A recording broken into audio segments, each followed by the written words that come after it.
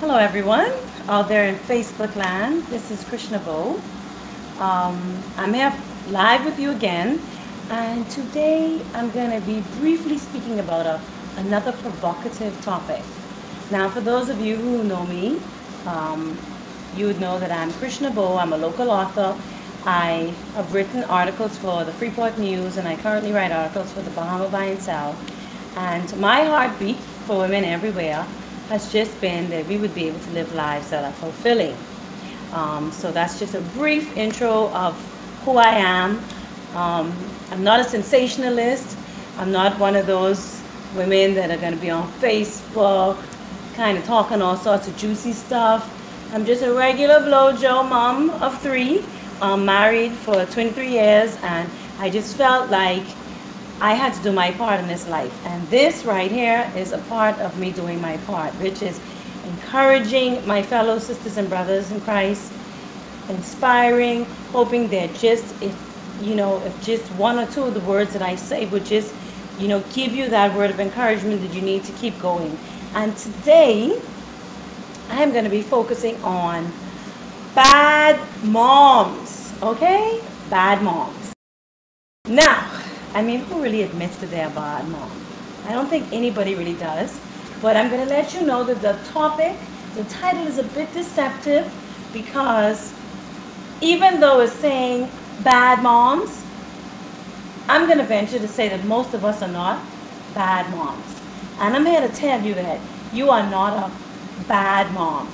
So even though the title says bad moms, I want you to know that you're not a bad mom, okay? I know that the task of motherhood is a heavy one. I mean, I think sometimes we underscore just how hard and how challenging it can be being a good mother and even more so a great mother. I mean, I'm living this, right? Because I'm a mother of three children, myself, a 24 year old, a 15 year old, a 10 year old, and it is hard. It is stressful it's heartwarming and then sometimes it's heartbreaking. You go through so many ups and downs and there are many times when you may question yourself and say, you know, am I really a good mom? And I'm just here today to tell you that listen, if you are even questioning yourself, chances are you are a great mom and you rock, okay? You rock. Because being a mother is not an easy job. So I just want to put that out there and I want to let you know that you're, if you're questioning yourself, chances are you're a great mom, okay? I know that sometimes we can feel like um, we never measure up.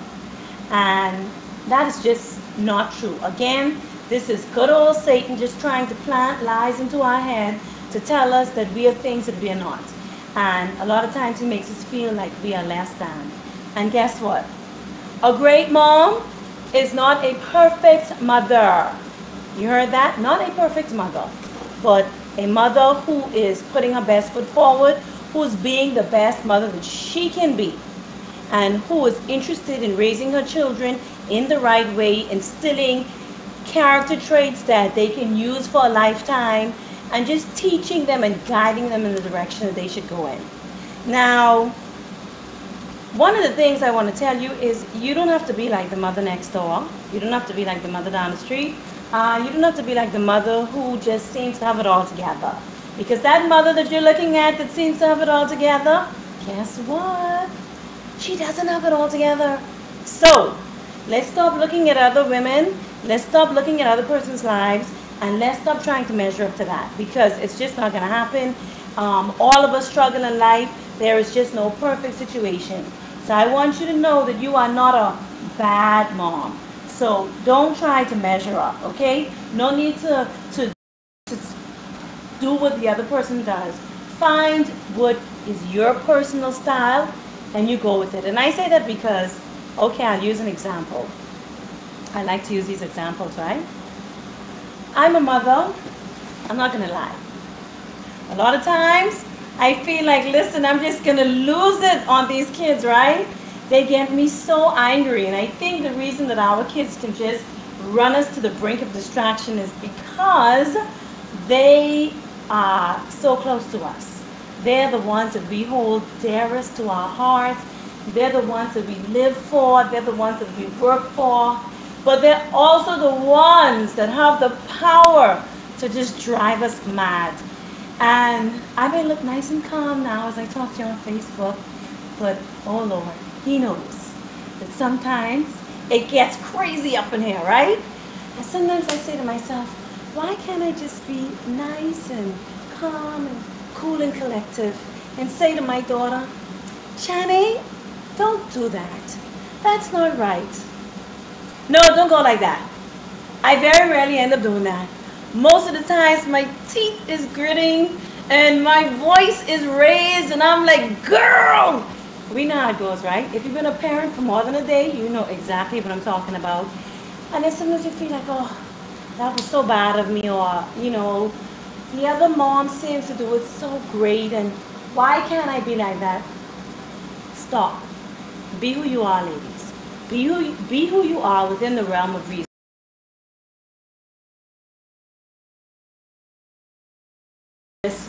Scream at your kids, abuse your kids, or do all sorts of crazy. No, that's not what I'm saying. But I am saying that you have to be who you are. You have to be the mother that God has called you to be. You have to run your own race, not the race of the mother down the street. If anybody knows me, I'm a very expressive person, and that carries through in my role as motherhood. I have some friends, they're very passive, they're very soft spoken, and that carries through to their role as mothers as well. But you know, we are all different, so no need to fit in. Be who you are and be proud of who you are. Okay, yeah, yeah, yeah, yeah. I scare like a jungler sometimes, but hey, it's okay. I am Chrishna. I am fearfully and I am wonderfully made. That is what my Bible tells me. And I believe that with every fiber of my being. And I believe that you, you wonderful mother, are wonderfully and fearfully made. So I just want to put that out there, okay? So as the famous saying goes, carry on, my dear moms. You're not perfect. No, you're not perfect. But you are a great mom, okay? Now, let me look back at the title, Bad Mom. The real bad moms, they aren't even thinking if they're bad moms. Because they're so busy with their own stuff or doing whatever it is they have to do. Unfortunately, the children are way, way down there on the list. So the real bad mom, I don't even know if this is going to resonate with them because they don't even realize that they're bad moms. You know, um, so I just want to say to you that, listen, be encouraged. You know, there was a movie called Bad Moms, and it was hilarious, even though I felt it was way too much profanity. But it was hilarious, and the message that they tried to put out there was that, you know, you're not a perfect mom. So I just wanted to encourage you today. Just give you another little nugget. This is another little nugget. You know, these are, you know, what I'm saying is nothing complicated. Nothing, nothing that is past understanding. These are very, very simple little nuggets that I'm just putting out there. Just encourage someone. You know, there may be a mom listening to me today and she may feel like, oh, I'm not able to provide because, you know, we feel guilty if we can't um, give the kids everything they want. You know, you can't make it to that soccer game because you worked late that particular day. Or, you know, if you're not able to make that vacation. But I just want to encourage you to run your own race. Those things are really very, very insignificant in the role of motherhood. Really, first and foremost, we know that you have to love your kids, right? Love your kids, teach your kids what's right, and leave a legacy. So I know that some people may say, ooh, she's talking about bad moms. May have been looking for some juice or what they consider to be some juicier stuff. But no, this is just a shout out to all my wonderful mothers that you are not a bad mom. Do not let anyone tell you that you're a bad mom. Just because you're making mistakes along the way, we all do it. Just because you can't give your kids everything that they want, we're all in that boat. Be encouraged. Know that God has your back and that once you put your children in the right place in your life, once you take responsibility for that life that God has blessed you with, until they're able to take care of themselves, then you are a great mom. So on this holiday in the Bahamas, I just want to say, moms, you rock. You rock, ladies, and keep doing what you're doing. because you're not perfect, but you are great. So be blessed, my sisters and brothers, and just know that God is with you. Have a great, great week. Thank you.